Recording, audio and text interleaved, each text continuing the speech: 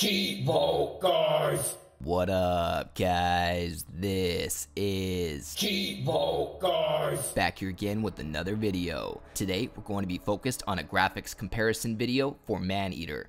This game was just optimized for next generation Xbox Series X and S. You can now play the game at 60 frames per second on Xbox Series X compared to it running at only 30 frames per second on current generation consoles. Now, in these graphic comparison videos, I'm going to be comparing it to the best version of current generation, which was the Xbox One X. And again, we're comparing that to next generation Xbox Series X. Now, I've had a chance to play a lot of these games that are optimized for Xbox Series X, and I gotta say, Man Eater has one of the most noticeable differences in graphics and in gameplay. Now that it runs at 60 frames per second, it is much smoother. Not only that, but this is one of the few Xbox Series X games that supports ray tracing. You're gonna find that as I slide through Xbox Series X footage and Xbox One X footage, you are going to notice a big difference in graphics and lighting, especially because of that ray tracing. I also want to point out that I spent time to record this in 4K, so if your TV supports it, make sure you go to the YouTube settings and switch it to 4K so that way you guys can experience this full-on graphics comparison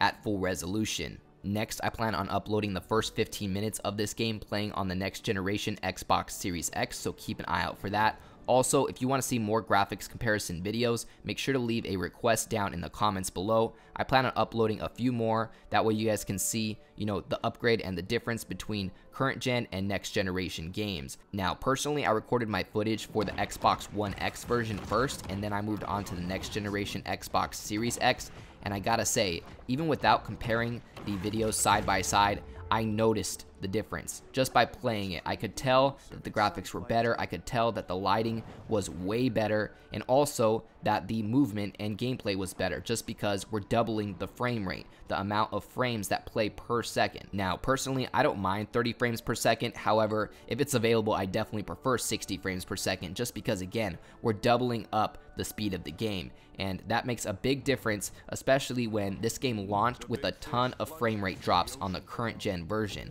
A lot of people had issues with the frame rate running on Xbox One and Xbox One X. So I've noticed that playing the next generation version, I did not deal with any of that. One thing I noticed while swimming above the water is that the game has a greater draw distance when playing on the next generation, just meaning that you can see things farther in the distance compared to the current gen version. Not only that, but the environment is just so much more saturated when you're playing on the next generation. The colors pop way more. I don't know if it's just because the HDR on the next generation or what, but on the Xbox Series X version, you're definitely going to notice and appreciate the smaller details. Now, on top of all of these awesome upgrades in the next generation version, it has smart delivery, meaning that this is a free upgrade. If you own the current gen version of Maneater, you will be able to play the optimized Series X or S version for absolutely free. That is a ton of value for $39.99. Not only that, but you have some developers and publishers that are charging for the next generation upgrades.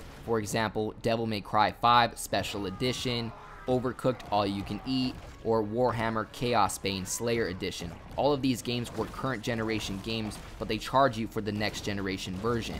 Maneater, on the other hand, supports smart delivery, meaning that you get the current and next generation version for the same price. I feel like the biggest difference here is definitely the ray tracing. Now, I want to point out that in this video, we're not comparing to the Xbox Series S nor any of the other current generation consoles. We're comparing the best current generation Xbox, the Xbox One X, to the best version of the next generation console for Xbox, the Xbox Series X. Now, I want to point out that you're not going to notice a huge difference in the cutscene quality. You do notice a little bit of a difference, but not a huge difference, just because I think that these cutscenes were pre-rendered. I think the only cutscenes that you're going to notice a huge difference in these games are cutscenes that are actually running in the in-game engine versus a pre-rendered cutscene. But still, you're definitely going to find that the colors pop a lot more on the Xbox Series X version. Now, this is the second level in the game. I'm not going to go too far into this one. I just wanted to show you guys the difference in the graphics in the swamp when you're swimming above the water. You're going to notice a huge difference in the quality of the swamp. The colors pop a lot more and you're going to have a way greater draw distance. Other than that, I hope you guys enjoyed this 4K graphics comparison. If you guys want more, make sure to let me know down in the comments below. Other than that, I'd like to give a huge thank you to all of my Patreon subscribers. We just hit 18 patrons. I'd like to give a special shout out to everybody in the biggest fan club, including Tim G84, AOJ, The Gaspless, Purple Rain 6, Blackbird, and NL the Dude. As always, I appreciate you guys tuning in. If you enjoyed this video, please leave a comment and don't forget to like and subscribe.